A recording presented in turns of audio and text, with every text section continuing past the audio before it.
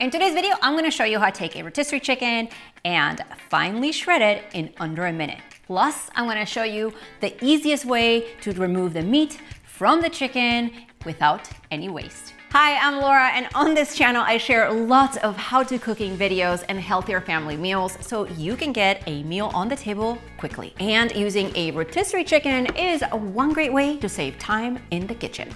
Now my number one tip to do this in about half the time is to make sure that the chicken is warm.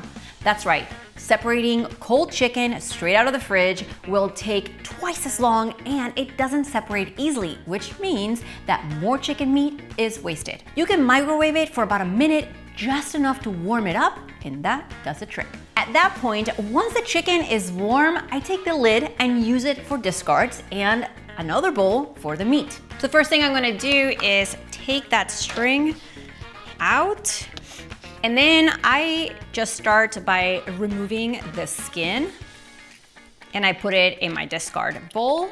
Of course, at this point, you can manually separate the meat from the chicken, but if you need it finely shredded for like enchiladas or soups, I'm gonna show you how I do that with my one minute hack. But first, make sure you get all the juicy meat from the underside, the thighs, the wings, all of that. By the way, if you're finding this video helpful, give it a thumbs up so I know to make more of them for you on my channel. So now that I have the chicken in this bowl, I'm gonna take my hand mixer and shred it.